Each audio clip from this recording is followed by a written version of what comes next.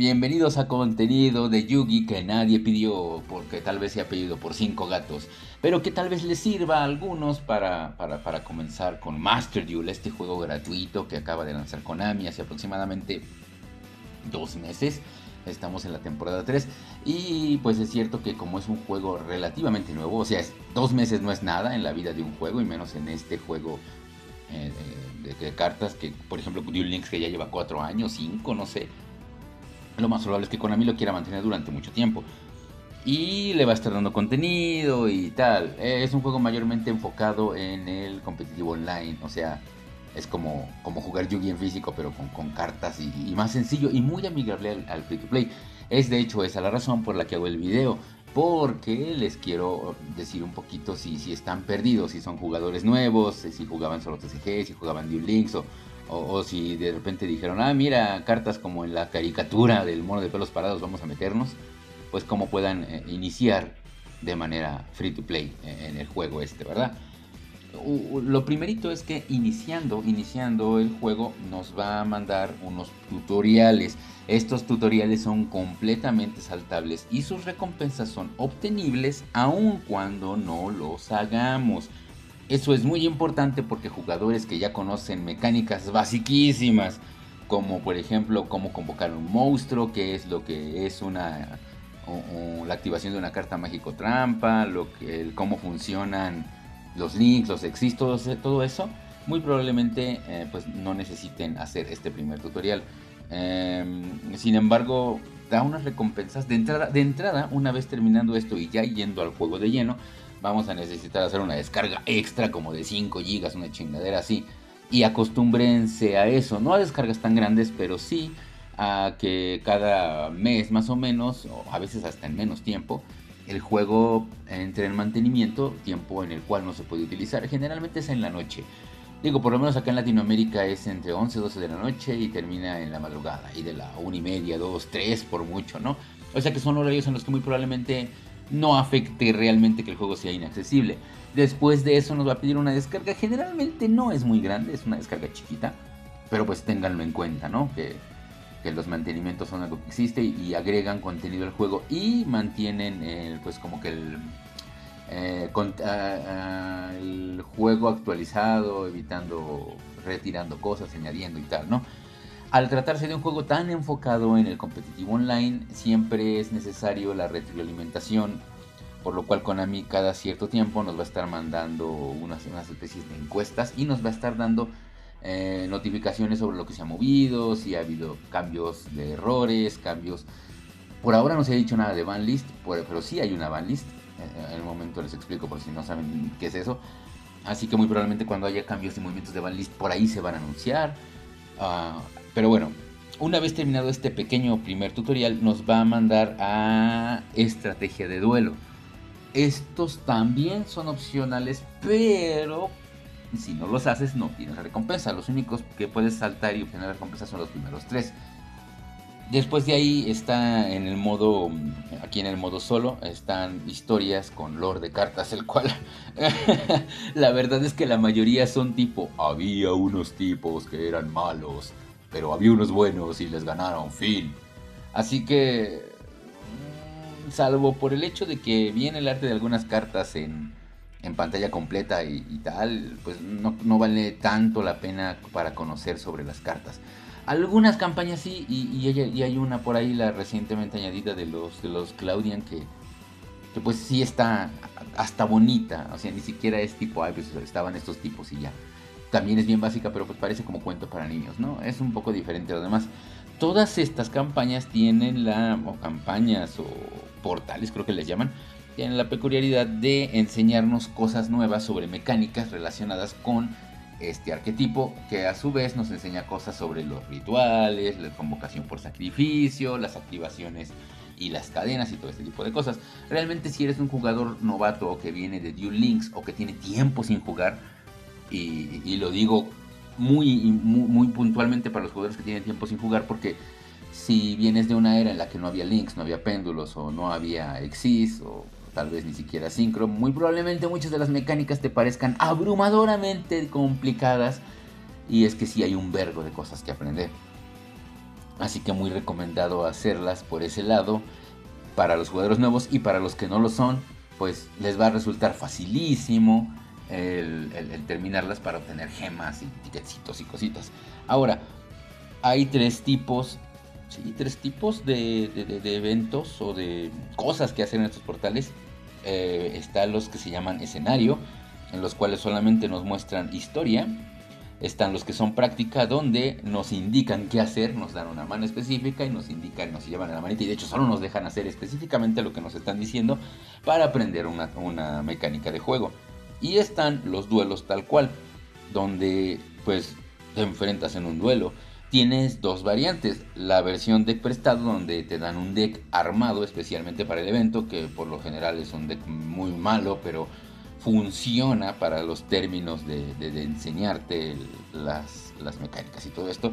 Y la opción de mi deck, donde tú puedes construir tu propio deck, más bien donde tú utilizas decks que ya hayas construido, o incluso puedes usar las estructuras que te dan, ya que algunos de estos, mm, de estos portales te dan estructuras o cartas gratis para, para iniciar. Las recompensas varían dependiendo qué es lo que vayas a, a utilizar. Por ejemplo, si utilizas tu propio deck, obtienes cartas, o si utilizas prestado, obtienes estas circulitos de colores, estos orbecitos que sirven para desbloquear caminos alternativos en aquí en el modo solo. Por ejemplo, este, aquí ya lo desbloqueé, pero me pedía una cierta cantidad de, de orbecitos, de los cuales tengo ahí arriba un vergo, porque Actualmente hay una cantidad mayor de lo que se puede usar porque pues están agregando portales y muy probablemente sigan agregándolos, así que pues te dan de más para que cuando lleguen no sufras y no puedo hacer nada. Ahora, en los primeros, en los que son estrategias de duelo, están algunas de las mejores recompensas para principiantes, ya que hay un duelo que te da Monster Reborn, así el Shizasose, y hay uno que te da Lightning Storm, dos cartas muy buenas. Hay uno que te da también Juicio Solemne.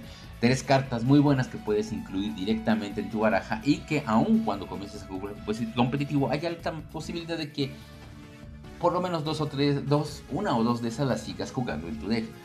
Realmente hay cartas que podría así a buenas a primeras parecer que, ah, es que monstruo renacido, renace el monstruo del anime de Yu-Gi-Oh! Claro que lo voy a poner porque es un efecto poderosísimo, pero actualmente se le considera más un extensor de jugadas que una condición de victoria. Por ejemplo, el juicio solemne es mucho más viable, a pesar de que te cuesta la mitad de tus puntos de vida.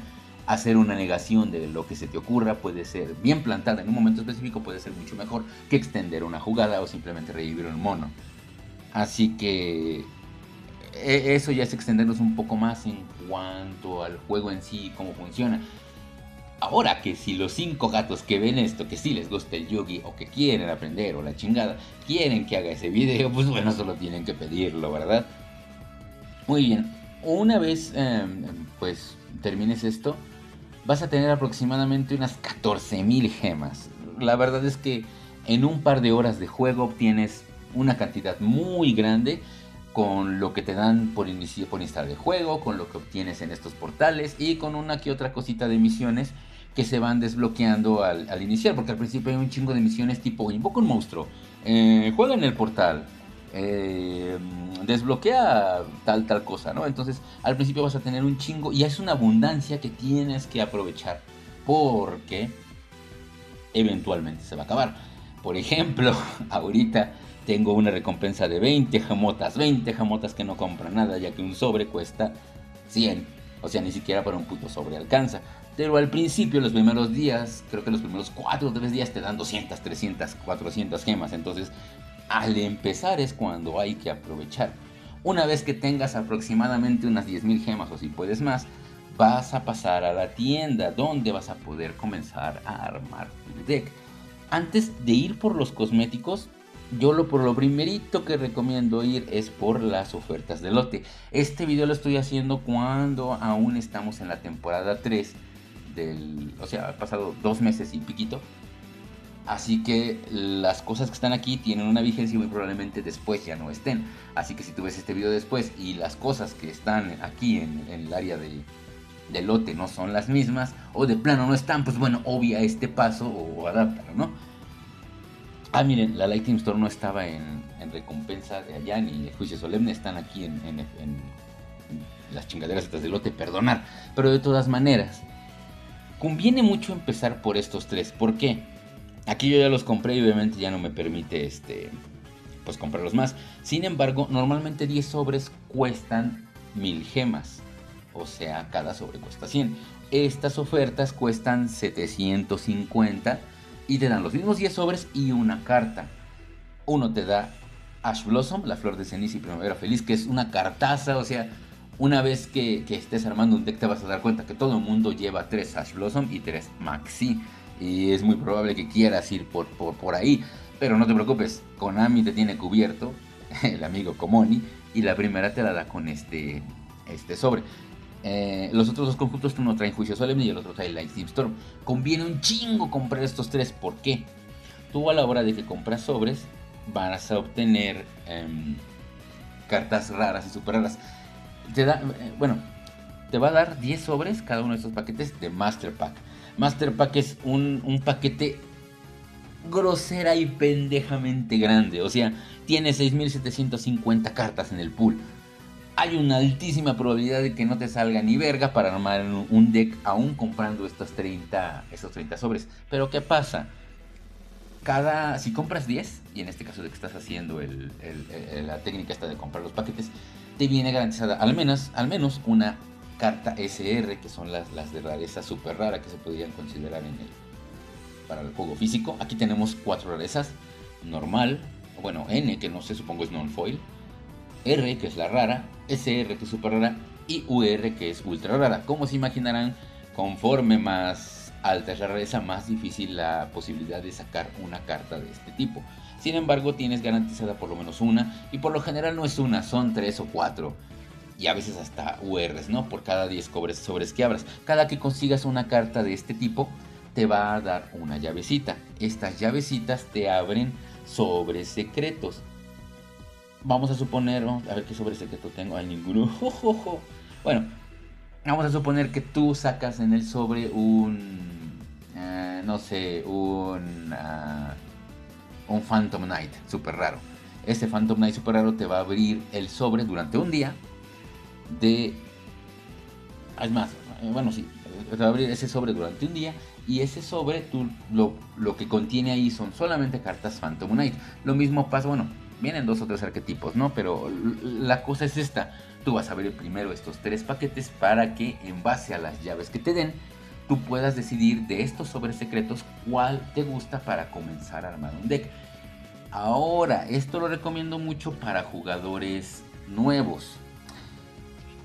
Si de todo lo que te sale de todas maneras no sabes qué verga armar, o dices, bueno, eh, yo a mí ni siquiera, yo ni siquiera veo la caricatura, no sé qué es un dragón de ojos azules, no sé qué es un mago oscuro, que son opciones muy comunes entre jugadores eh, nuevos que no juegan el competitivo. Está la opción de eh, Duel Live, en la cual puedes ver un duelo como espectador. ¿Para qué te sirve esto? Y no dices, bueno, mejor me voy de, lleno de cabeza al competitivo. Bueno, al, al online, ¿no? Al ranked esto te sirve porque puede que en las repeticiones veas alguna estrategia que te guste o un estilo de juego que te guste. Otras maneras de conseguir, eh, de, ver qué tipo de juego te gusta es durante el modo solo. Eh, pues tú vas viendo, creo que está Megalith, Monarca, está Element Savers, está todo eso. Tal vez una de esas mecánicas te guste. Así que puedes partir por armar esas barajas. Por ejemplo, aquí en esta repetición están jugando uh, eh, ZW, sí, es este el, pinche deck este de, de, Human. Entonces a lo mejor te gusta esa mecánica y puedes este, armar, buscar los sobres secretos, ¿no? O sea, al final esa pinche repetición ya me Muy bien, amiguito. Una vez que tengas tu deck decidido, lo que vas a hacer es comprar 10 sobres o los que puedas de ese sobre secreto para generar eh, una cantidad de cartas de, ese, sobre, ¿no? Ahora, es muy probable que eh, no armes el de completo con esos con, toda esa cantidad grande de sobres y que te falten alguna que otra SR o UR que no te hayan salido. Para eso está el sistema de crafteo. Por ejemplo, debo tener aquí uno que estoy armando apenas. Em, aquí el puto Triton feo. Editar deck. Miren, aquí en el Drytron me faltan varias cartas de las SRI y UR, pero tengo la ventaja de que si yo le doy a una y doy en cómo obtener, me aparece en qué sobre está. Por ejemplo, tengo bloqueado este, este sobre de, de alma de dioses sublimes, ¿no? ¿Qué puedo hacer yo para desbloquear este sobre? Y también en el caso de que, mm, vamos a ver, abrí el este sobre, ¿no? De donde vienen las, las, las pinches este, Cyber Angel. Y después de... Em, después de un día, todavía me faltan cosas y ya no está el sobre, bueno, lo que voy a hacer es generar una carta. Esta, esto de generar cartas se, hace con estos orbes de acá arriba, los CP, ay qué horrible nombre, de UR, RON. Te recomiendo empezar por generar SR y UR, sí que son los más costosos y sí que te va a costar conseguir, por ejemplo, conseguir los de UR, pero generar de estas rarezas te va a desbloquear el sobre. Eso hace que tú puedas ir a comprar nuevos sobres. Y la primera vez que generes una carta de un sobre que no habías generado antes, te va a dar un intento gratis. Este intento gratis es muy útil porque muchas veces puedes sacar ahí a lo mejor otra de las cosas que necesitas o finalmente son cartas pues, gratis por así decirlo, ¿no?